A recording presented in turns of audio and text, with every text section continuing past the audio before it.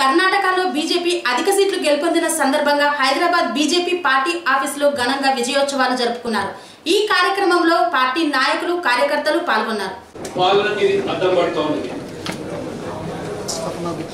భారత ఆర్థిక వ్యవస్థ దారిలో పెట్టడమే కాకుండా మెరుగుపరుస్తూ అన్ని వర్గాల ప్రజలను మండలం చూడగలిగే రీతిలో సబ్కా సాత్ సబ్కా వికాస్ నినాదం.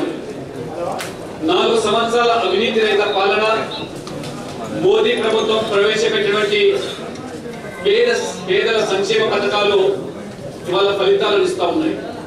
ఒకవైపు అభివృద్ధి ఎజెండాతో పేదల సంక్షేమ ఎజెండాతో బీజేపీ ఎన్నికల్లో పోటీ చేస్తూ విజయాన్ని సాధిస్తా ఉంటే రాజకీయ ప్రత్యర్థులు కాంగ్రెస్ పార్టీ కమ్యూనిస్టులు కులం పేరు మీదనో మతం పేరు మీదనో పాత పేరు ప్రాంతం పేరు మీద భాష పేరు మీద ప్రజలను విడదీసి విద్వేషాలు ఎన్నికల్లో వాళ్ళు రెచ్చగొట్టే విధానాలు పాల్పడుతున్నప్పటికీ కూడా ప్రజలు ఈ అభివృద్ధి ఎజెండాకు వారు పట్టం కట్టడం అది వారికి కనువిప్పు కావాలి. తెలుగు రాష్ట్రాల ముఖ్యమంత్రులు ఇద్దరు కూడా కర్ణాటకలో బీజేపీ ఓడించడానికి కేసీఆర్ గారు జేడీఎస్కు వత్తాసు పలుకుతే చంద్రబాబు నాయుడు గారు కాంగ్రెస్ గెలుపు కోసం వారు కృషి చేస్తే కర్ణాటకలో ఉన్నటువంటి తెలుగు ప్రజలు ప్రాంతాల ఖచ్చితంగా మోదీ నాయకత్వం పట్ల మోదీ నేతృత్వంలో జరుగుతున్న అభివృద్ధి పట్ల వారు మొక్కు చూపుతూ మరి అన్ని ప్రాంతాలకు సంబంధించిన తెలుగు ప్రజలు కూడా బీజేపీ గెలుపుకు దోహదపడడము ఇది ఈ రెండు రాష్ట్రాల ముఖ్యమంత్రులకు చెప్పబెట్టి లాంటి తీర్పు అని చెప్పి కూడా నేను అభివర్ణిస్తా ఉన్నాను. ఒకవైపు బీజేపీ గెలుపుకు మోదీ ప్రభుత్వం యొక్క విధానాలు అభివృద్ధి సంక్షేమం దానికి తోడు జాతీయ అధ్యక్షుడు అమిత్ షా గారు సంస్థాగతంగా ఈ దేశంలో ఏ పార్టీకి లేనటువంటి నిర్మాణం పోలింగ్ బూత్ నుంచి మొదలుకుంటే మరి కింది స్థాయిలో పన్నా ప్రముఖ పేజీ ప్రముఖులను నిర్మాణం చేసి ఆ రకంగా రాష్ట్ర స్థాయి జాతీయ స్థాయి వరకు కూడా కార్యకర్తల యొక్క మరి ఈరోజు విశేష కృషి వల్ల ఈ ఎన్నికల్లో బీజేపీకి విజయాన్ని చేకూరుస్తా ఉన్నది. ఖచ్చితంగా ఇవాళ నరేంద్ర మోడీ అమిత్ షా గారితో పాటు కర్ణాటకలో యడ్యూరప్ప నాయకత్వంలో అక్కడ నుండి గ్రామీణ ప్రాంత ప్రజలు రైతులు ముఖ్యంగా రైతు బాంధవుడుగా యడ్యూరప్పను పరిగణించి యడియూరప్ప నాయకత్వంలో ఒక స్పష్టమైనటువంటి మెజార్టీ వల్ల బీజేపీ సాధించిందంటే నిజంగా ఇవాళ పార్టీ శ్రేణులకు నేను హృదయపూర్వకంగా అభినందిస్తూ ఈ రాష్ట్రం నుంచి కూడా దాదాపు రెండు వందల మంది మరి నాయకులు కార్యకర్తలు రెండు మాసాల పైగా జాతీయ పార్టీ ఇచ్చినటువంటి మరి ఆ పరిధిలో పనిచేసి ఏ రకంగా విజయానికి దోహదపడ్డారో వాళ్ళందరినీ కూడా నేను అభినందిస్తూ ఏ రాజకీయ పార్టీలు అయితే ఉత్తర భారత రాజకీయాలు వేరు దక్షిణ భారత రాజకీయాలు వేరు. భారతీయ జనతా పార్టీ ఉత్తర భారతను గెలిచేటువంటి ఈ పరిస్థితి దక్షిణాదిలో ఇది ఏమాత్రం కూడా దాని ప్రభావం చూపదని చెప్పిన వాళ్ళకు కూడా ఇది కల్లింపు కావాలి. దక్షిణాదిన ఇవాళ కర్ణాటక బీజేపీ ముఖద్వారం అయితే భవిష్యత్తులో తెలంగాణలో కూడా భారతీయ జనతా పార్టీ బాగా వేయడానికి ఈ ఎన్నికల ఫలితాలు దోహదపడతాయని నిన్న అమిత్ షా చాలా స్పష్టంగా నిన్న ఢిల్లీలో ఎన్నికలు జరిగిన రాష్ట్రాలన్నీ కూడా పూర్తయిపోయినాయి. ఇక మిగిలింది రెండు వేల పంతొమ్మిది ఎన్నికలు. ఆ రెండు వేల పంతొమ్మిది సాధారణ ఎన్నికలతో పాటు తెలంగాణ ఒరిస్సా వెస్ట్ బెంగాల్ ఆంధ్రప్రదేశ్ ఏదైతే ఎన్నికలు ఉన్నాయో వాటి మీద కూడా జాతీయ ప్రాంతి ప్రత్యేకంగా దృష్టి సారించి ఖచ్చితంగా భారతీయ జనతా పార్టీ వాళ్ళ ఒక చరిత్రను సృష్టించింది. దేశ స్వాతంత్రంలో డెబ్బై సంవత్సరాల చరిత్రలో ఏ పార్టీ కూడా ఇరవై రెండు రాష్ట్రాల్లో గెలిచిన దాఖలా లేవు. అటువంటిది ఇందిరాగాంధీ హయాంలో కూడా నెహ్రూ హయాంలో కూడా మరి ఏనాడు కూడా కాంగ్రెస్ ఇన్ని రాష్ట్రాల్లో విజయాన్ని సాధించలేదంటే అది సంకేతం వల్ల స్పష్టంగా మోదీ ప్రభుత్వం అవలంబిస్తున్నటువంటి అభివృద్ధి విధానాలు పేదల సంక్షేమ కార్యక్రమాలు ఇవాళ దోహదపడుతున్నాయి కాబట్టి కాశ్మీర్ నుంచి కన్యాకుమారి వరకు పార్టీలకు ప్రాంతాలకు అతీతంగా కూడా బీజేపీ పట్ల ఇవాళ మొగ్గు చూపుతున్నారు.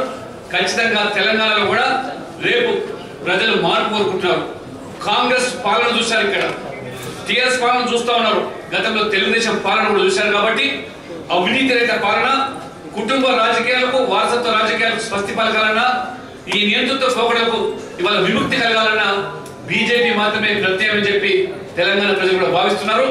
తెలంగాణ కాంగ్రెస్ నాయకులు కన్న కళలు అవి పగటి కళలుగానే మారిపోతున్నాయి ఇవాళ రాహుల్ గాంధీ నాయకత్వాన్ని ప్రశ్నించే స్థాయి ఇవాళ కాంగ్రెస్ చేరుకున్నది. కాబట్టి ఇవాళ తెలంగాణలో కూడా కాంగ్రెస్ వల్ల మునిగిపోతున్న పడవ ప్రజలు ఇవాళ బీజేపీ వైపు చూస్తున్నారు. ఆ మార్పు ఆ నీతివంతమైన పాలన అభివృద్ధిలో కొనుక్కునే సంక్షేమ పాలన బీజేపీ ఇవ్వగలుగుతుందని చెప్పి ప్రజలు భావిస్తున్నారు కాబట్టి ప్రజలు భవిష్యత్తులో ఈ సంవత్సర కాలంలో బీజేపీ ప్రజా పోరాటంలో భాగస్వాములు అవుతూ ఒకవైపు మోదీ విధానాలను మోదీ కార్యక్రమం ఇంటింటికి తీసుకెళ్తూ టీఆర్ఎస్ వైఫల్యాలను కూడా ఎండగట్టి ఆ రకంగా టీఆర్ఎస్ ధీటుగా తెలంగాణలో బీజేపీని తీర్చిదిద్దామని చెప్పి తెలియజేస్తూ ఈ ఎన్నికల్లో విశేషంగా కృషి చేసినటువంటి తెలంగాణ కార్యకర్తలందరినీ కూడా నేను అభినందిస్తూ మరి మోదీ నాయకత్వాన్ని ఇవాళ అమిత్ షా నాయకత్వంలో యడియూరప్ప నాయకత్వంలో సాధించిన కర్ణాటక విజయం ఒక చరిత్రాత్మకమైన విజయంగా నేను అభివర్ణిస్తూ ఇప్పటికైనా చంద్రబాబు నాయుడు గారు కేసీఆర్ గారు మీరు ఈరోజు రోజు మరి మీ వైఫల్యాలను కప్పిపుచ్చుకోవడానికి జాతీయ స్థాయి రాజకీయాలు తెరదీస్తున్నామని థర్డ్ ఫ్రంట్ ఫెడరల్ ఫ్రంట్ అని చెప్పి మభ్యపెట్టే ప్రయత్నాలు మీ వైఫల్యాలను కప్పిపుచ్చుకోవడానికి చేసే ప్రయత్నాలు కర్ణాటక ప్రజలు బొమ్మ చేశారని చెప్పి తప్పకుండా ఈ సందర్భంగా తెలియజేస్తూ భవిష్యత్తులో కార్యకర్త తెలంగాణలో ఇదే ఉత్తేజంతో ఉత్సాహంతో దిగ్విజయకృతమైన కృషితోని తెలంగాణ ప్రజల ఆకాంక్షలకు అనుగుణంగా పార్టీని అధికారులకు తీసుకొచ్చడానికి కృషి చేశారని చెప్పి ఆశిస్తూ నేను సెలవు తీసుకుంటున్నాను. దుష్ప్రచారానికి మోడీ గారికి ప్రజాదరణ లేదని బీజేపీకి ప్రజాదరణ తగ్గుతోందని ఏవైతే అనేకమైనటువంటి అబద్ధపు కూతలు కూర్చారో వాటన్నిటికీ కర్ణాటక ప్రజలు సరైనటువంటి సమాధానం చెప్పినారని ఈరోజు భారతీయ జనతా పార్టీ మేము తప్పకుండా భావిస్తున్నాం. కర్ణాటక విజయం ఇది గేట్వే టు సౌత్. అన్నిటికన్నా ముఖ్యంగా కర్ణాటక కాదు మొట్టమొదటి విషయాన్ని తెలంగాణ. ఎందుకంటే హైదరాబాద్ కర్ణాటకలో ఉన్నటువంటి రెండు బై మూడు వందల సీట్లు బీజేపీ గెలుస్తున్నది. కాబట్టి కర్ణాటక విజయం కర్ణాటక కానీ అత్యధికంగా విషయమైన రాష్ట్రము తెలంగాణ. కాబట్టి తెలంగాణకు కర్ణాటక విజయం ఓ నూతన ఉత్సాహాన్ని ఇస్తుంది. కార్యకర్తలకు సానుభూతి పనులకు ప్రజలకు విశ్వాసాన్ని కలిగించింది. భారతీయ జనతా పార్టీ కూడా రెండు వేల పంతొమ్మిదిలో కర్ణాటకలో వచ్చిన పరిణామమే తెలంగాణలో రావడానికి అందరూ స్వాగతిస్తారనేది ఈరోజు సంకేతం. అలాగే మిత్రులారా చాలా ముఖ్యమైన విషయం ఏంటంటే ఈ ఎన్నికల్లో ఈ ఎన్నికల్లో రాహుల్ గాంధీకి ఆయన మాట్లాడినటువంటి భాష కానీ ఆయన ప్రచారం చేసిన తీరు కానీ ప్రజలు పూర్తిగా తిరస్కరించినారు. కాంగ్రెస్ పార్టీకి ఇది చెంపదెబ్బగాను కాంగ్రెస్ పార్టీ మళ్ళీ తిరిగి కోలుకోలేనటువంటి దెబ్బ. కాంగ్రెస్ పార్టీ తెలంగాణలో ఎన్ని ఆశలు పెట్టుకున్నా తెలంగాణలో కాంగ్రెస్ పార్టీ కూడా సాగుదల జరగబోతుంది. అందుకనే ఇది భారతీయ జనతా పార్టీకి బాగా లబ్ధి పడుతుంది. దాంతోపాటు చివరిగా ఇద్దరు తెలుగు రాష్ట్రాల యొక్క ముఖ్య ముఖ్య ముఖ్యమంత్రులు వాళ్ళు పరాభవానికి గురైనారు చంద్రబాబు నాయుడు గారు అయితే మోడీ గారి మీద భారతీయ జనతా పార్టీని ఓడించాలని తీవ్రమైనటువంటి ఒక భాషలో మాట్లాడినా తెలుగు ప్రజలు చంద్రబాబు నాయుడు గారికి కేసీఆర్ గారికి సరైనటువంటి గుణపాఠం చెప్పినని మేము భావిస్తా ఉన్నాం. తెలుగు ప్రజలు రేపు రాబోయే రోజుల్లో కూడా కేసీఆర్ గారిని చంద్రబాబు నాయుడు గారిని మీ పరిమితం ఎక్కడుందో అక్కడ ఉండమని వాళ్ళు సంకేతం ఇచ్చినారు. మీరు అనవసరమైనటువంటి దుష్ప్రచారం చేసి అనవసరమైనటువంటి భాష ఏదైతే మాట్లాడారో ముఖ్యంగా తెలుగుదేశం పార్టీ వారు వాళ్ళు పునరాలోచించుకోవాల్సిన పరిస్థితులు వస్తాయని నేను భావిస్తున్నాను. కాబట్టి ఈ- ఈ ఎన్నికలు భారతీయ జనతా పార్టీకే కాదు దేశ ప్రజాస్వామ్యానికి ఒక దిక్సూచి. కుటుంబ పరిపాలనకు అంతం. కాంగ్రెస్ సావుదెబ్బ కాబట్టి భారతీయ జనతా పార్టీకి మళ్ళీ పునర్వైభవం. రెండు వేల పంతొమ్మిదికి మళ్ళీ పునర్వైభవంగా మేము భావిస్తా ఉన్నాం.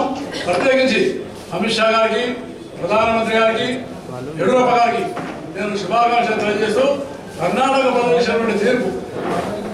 అంగ అంగ అని చెప్పి ఎంతో ప్రచారం చేసిన భారతీయ జనతా పార్టీని స్వాగతించడం ఇది అపూర్వమైనటువంటి చారిత్రాత్మకమైన విజయమని మనందరం కూడా కర్ణాటక ప్రజలను అభినందించాలని నేను కోరుతా ఉన్నాను.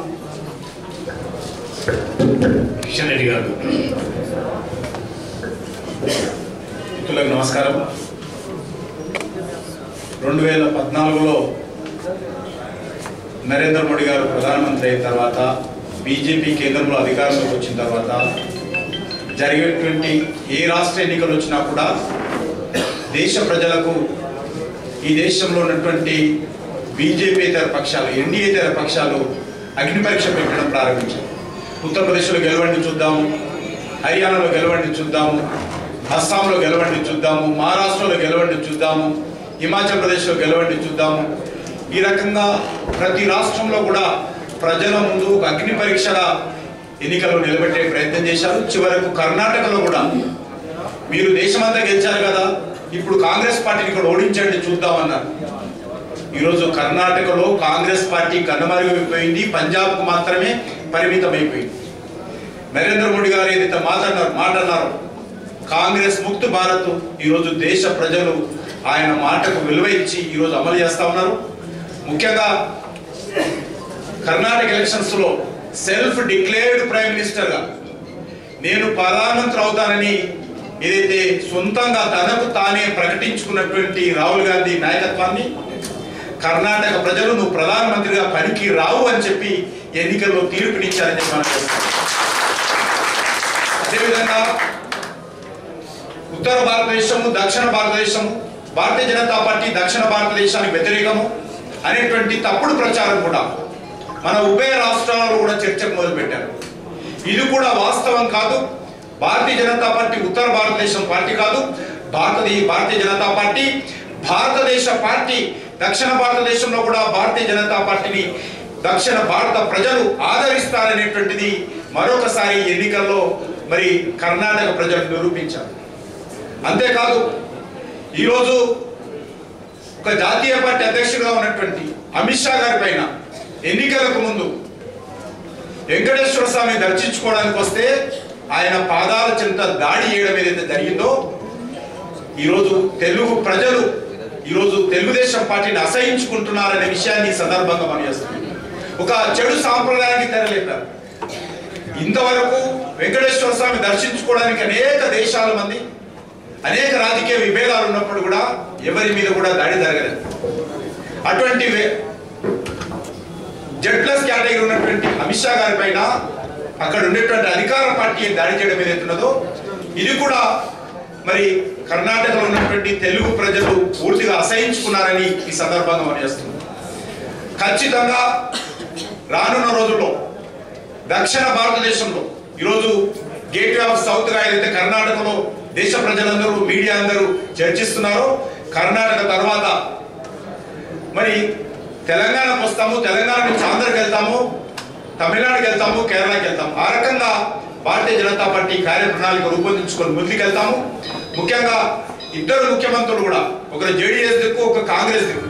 ఏ తెలుగుదేశం పార్టీ అయితే ఎన్టీ రామారావు నాయకత్వంలో కాంగ్రెస్ వ్యతిరేక జ్వాలంలో తెలుగుదేశం పార్టీ పుట్టిందో అటువంటి కాంగ్రెస్ పార్టీని గెలిపించాలని ఈరోజు చంద్రబాబు నాయుడు గారు పిలుపునివ్వడము ఎన్టీఆర్ ఆశయాలను తుంగల తొక్కడమే ఎన్టీఆర్ ఆశయాలను కృష్ణా నదిలో కలిపేటువంటి ప్రయత్నం ఎన్టీఆర్ ఆశయాలను గోదావరి నదిలో కలిపేటువంటి ప్రయత్నము.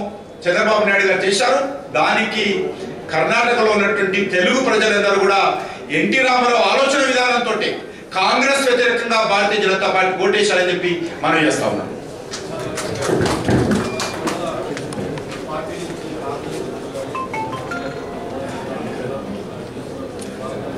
ప్రజలంతా బీజేపీ వైపు ఉన్నారు.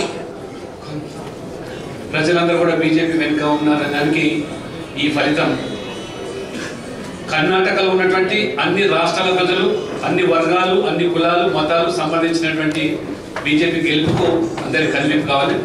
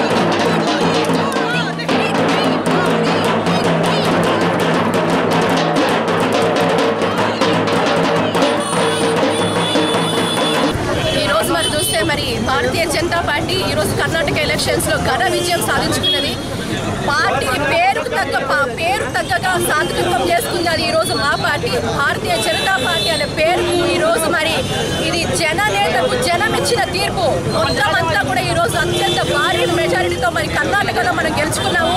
మరి రానున్న రోజుల్లో కూడా మరి ఇదే తీరుగా మరి తెలంగాణలో కూడా మరి కాషాయ జెండా తప్పకుండా రెపరెపలాడుతుందని కూడా మరి మీకు చెప్తూ మరి ఈ రోజు ఇంత నమ్మకంతో మరి మోడీ గారి ప్రభుత్వాన్ని మరి కేంద్ర సర్కార్ని మళ్ళీ మా మీద నమ్మకం ఉంచి ఘన విజయం చేకూర్చిన ప్రజా ప్రజలందరికీ ప్రజలందరికీ పేరు పేరున ధన్యవాదాలు తెలుపుతున్నాను. భారత్ మాతాకి భారత్ మాతాకి ఈరోజు ఈ ఎన్నికలు కర్ణాటక ఎన్నికల్లో భారతీయ జనతా పార్టీ అఖండ విజయాన్ని సాధించుకున్నది రేపు రేపు రాబోయే రోజుల్లో కూడా ఈ వచ్చే జనరేషన్ ఏదైతుందో ఇక కాంగ్రెస్ పార్టీకి ఓటేసే జనం సంఖ్య అంత చచ్చిపోయింది. ఇక ఏదైనా భారతీయ జనతా పార్టీ ఈ దేశంలో ఒక ఇరవై సంవత్సరాలు ఈ కొత్త తరానికి యువతరానికి దేశ అభివృద్ధికి ఒక పునాదులు నిర్మాణం చేసే పార్టీ భారతీయ జనతా పార్టీ అని ప్రగాఢ విశ్వాసంతో మోదీపై మోదీ నాయకత్వం మీద ఎనభై మూడు శాతం మంది ఈరోజు సంతృప్తి ఉన్నారు. గత నాలుగున్నర సంవత్సరాలుగా ఎక్కడ కూడా ఎలాంటి అభివృద్ధి కార్యక్రమాలు లేకుండా